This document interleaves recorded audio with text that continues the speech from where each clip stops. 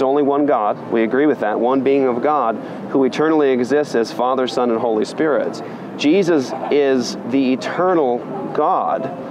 And the key issue here is if you and I come to a Christ that doesn't exist, you're coming to a Christ that can't save you. Because there's only Oh, one no, Jesus. We, we absolutely believe that he exists, and it's only but which one?